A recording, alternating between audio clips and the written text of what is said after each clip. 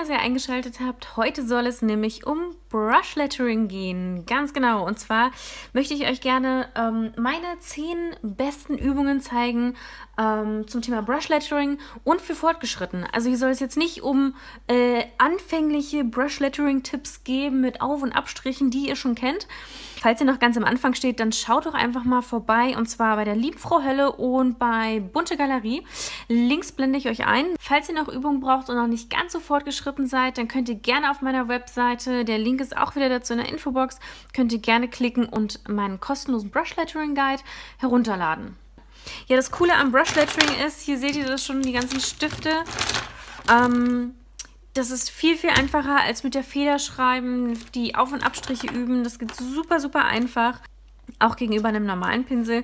Es ist deutlich einfacher. Es gibt super, super viel Auswahl ähm, auf meiner Webseite bei www.mädchenkunst.de Schrägstrich Materialien. Äh, könnt ihr auch mal schauen, was es da so alles gibt. Ich habe auch für die Anfänger empfohlen, äh, das ist so der Pentel Touch oder der Fudenosuke ähm, von Tombow. Da gibt es hier einmal den Dual-Tip, ähm, den Hart und Weichen.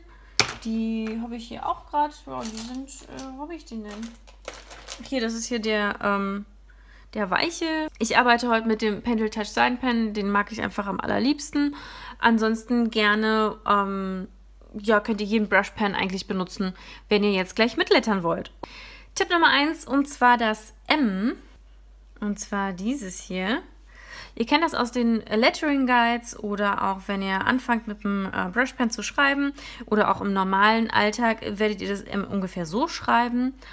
Ähm, das moderne Brush Lettering sieht aber vor, dass es gar nicht so traditionell ist und alles auf einer Linie, ja, so wie hier, sondern ähm, es sieht einfach cool und modern aus, wenn ihr, ähm, und zwar die Bögen von eurem M, den einen vielleicht kleiner, den anderen höher macht und hier zwischen euren Strichen, also zwischen euren Abstrichen, äh, wenn ihr da den Abstand aber gleich behaltet.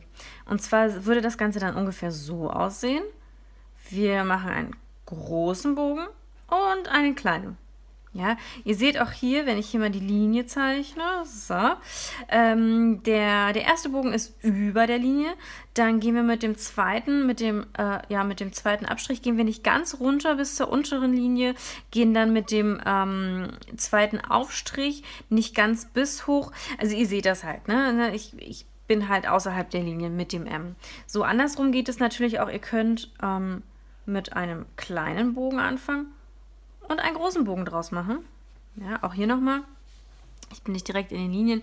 Und das gibt eurem Lettering einfach einen ganz, ganz coolen Look. Wenn ich jetzt mal euch das zeige, den Unterschied. So ist das Wort Mama. Ja, so sieht das traditionell aus. Und würdet ihr das jetzt mit meinem coolen äh, M-Tipp ähm, schreiben, dann sieht das Wort Mama schon gleich total modern und ähm, total schick aus. Okay, Tipp Nummer zwei. Ähm, da geht es um große Bögen und zwar im H zum Beispiel. Ihr könnt das auch weiter anwenden für das K zum Beispiel oder auch weitere Buchstaben, die äh, eurer Meinung nach äh, Bögen enthalten. Ähm, und zwar würde das H im normalen Brush Lettering ungefähr so aussehen. Wenn ihr dem Haar aber jetzt einen total coolen neuen Look verpassen wollt, dann versucht man das, den Bogen vom, ähm, vom Haar nicht hier unten anzusetzen, sondern weiter hier oben. Und ihr werdet einfach ein bisschen ausfallender noch. So, das Ganze sieht dann ungefähr so aus.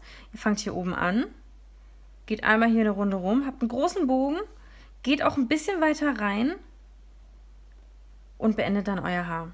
Ihr seht hier, der Bogen ist deutlich größer und einfach, der hat auch eine ganz andere Form, ne? also deutlich ausladender. Und das sieht auch ziemlich cool und modern aus. Wenn wir jetzt also das Wort, normalerweise würdet ihr das Wort Haus ungefähr so schreiben.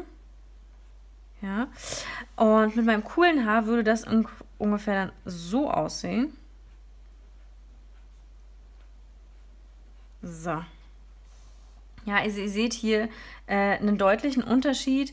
Das hier sieht ein bisschen langweilig aus und das hier sieht schon ein bisschen fescher und modern aus. Das gleiche gilt dann auch fürs K. Da könnt ihr dann auch einfach uh, ein bisschen ausholen. Da müsst ihr euch mal rumprobieren, wie sehr ihr ausholen wollt und wie ihr Platz habt in eurem Lettering. Ähm, manchmal können das kleine Bögen sein, manchmal aber auch wirklich ganz große. Ähm, ja, wie es einfach gerade reinpasst. Für die dritte Übung bleibe ich gleich beim K. Und zwar haben wir jetzt gerade äh, schon gelernt, dass wir so einen ganz großen Bogen machen können. Und das Coole beim K ist, ähm, wir machen jetzt, so wie ich es hier auch gemacht habe, wie im normalen Lettering, machen wir einen ganz normalen Bogen. Ja? Und jetzt gehen wir aber mit unserem Fuß nicht bis ganz nach unten, dass wir hier abschließen mit der gleichen Linie, sondern wir enden höher. Das heißt, so, ungefähr, also ihr seht hier, wenn hier so die Linie ist, dann gehe ich einfach schon viel früher nach oben. Ja, also ich kann jetzt hier mit dem A zum Beispiel weitermachen und kann jetzt wieder runtergehen mit dem U. Die Kombination mit dem ausfallenden Bogen und dann dem Aufstrich, der schon viel früher anfängt als normalerweise geplant, gibt dem K dann einfach einen total coolen Look. Nochmal ganz kurz äh, für euch hier. Das ist so das normale K. Ausladender Bogen, normaler Bogen und kleiner Aufstrich. Okay, du hast die Brush Lettering Guides schon alle durchgemacht und die Buchstaben wirklich bis zum Abwinken geübt. Dann geht es jetzt darum, dass wir, ach so, du hast sicherlich auch gehört, ne, dass du immer hier die Abstände, dass du versuchst gleichmäßig zu bleiben, dass das Auge einfach, ähm, dass es für das Auge einfach schön anzusehen ist. Mm, und jetzt möchte ich einfach mal dir gerne ans Herz legen in der vierten Übung, nämlich, dass wir die Abstände hier zwischen den Buchstaben viel größer machen. Ja, und zwar, dass wir einfach die Abstände üben. Und zwar größer.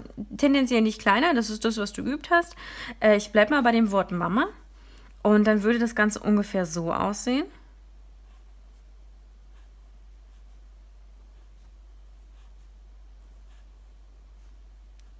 So. Ja, ihr seht, ich habe hier auch wieder die, die verschiedenen Hügel benutzt, die verschiedenen Größen. Hier ist jetzt der Abstand viel, viel weiter auseinander und gibt dem auch einen coolen und modernen Look einfach, dem Lettering. Und so könnt ihr dann auch einfach mit den verschiedenen Schriftarten ein bisschen spielen.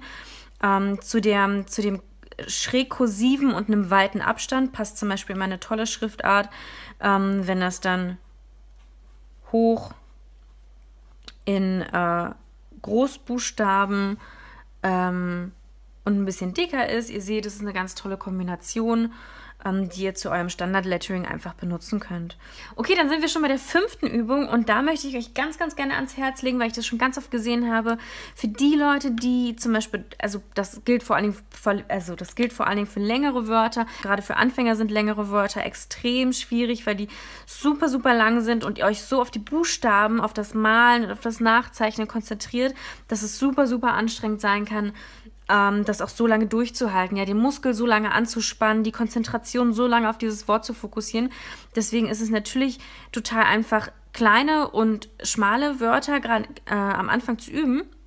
Ich nehme jetzt hier mal das Wort Spritzkuchen, das ist relativ lang und gerade für Anfänger kann das echt frustrierend werden, weil es so lang ist. Und ich möchte euch aber wirklich den Tipp an die Hand geben, macht es wirklich Buchstabe für Buchstabe. Ihr habt bei jedem Abstrich habt ihr die Chance, kurz Pause zu machen und dann quasi wieder äh, für euren neuen Buchstaben ansetzen zu können.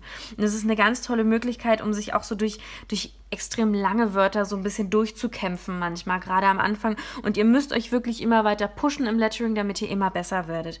Das ist einfach wirklich Übung, Übung, Übung, Übung bis zum Abwinken. Und äh, da ist ganz äh, oft auch mal Frustration dabei, wenn einige Buchstaben nicht so klappen, wie man das möchte. Das habe ich auch noch ganz, ganz oft. Ähm, ja, genau. Also mal ganz kurz, um euch das zu zeigen mit Spritzkuchen. Ihr fangt mit dem S an. Ja, so. Und dann könnt ihr Pause machen. Puh, okay, gut. So, jetzt mit dem P. Okay, wie mache ich das P? Zack. Schön Bogen. Okay, puh.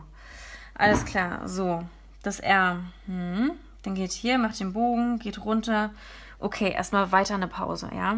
Geht zum I. Okay, Pause. Ja, könnt ihr den I-Punkt setzen. Okay, jetzt mache ich weiter mit dem T. T. Und kann hier oben dann im Prinzip ähm, direkt zum Z ansetzen. So. Ne, und ihr habt schon einmal nur einfach das Wort Spritz gelettert und könnt dann einfach weiter mit dem K immer ansetzen. Das heißt, ihr macht euren Abstrich, Aufstrich und dann könnt ihr kurz Pause machen. Das ist ein super Tipp.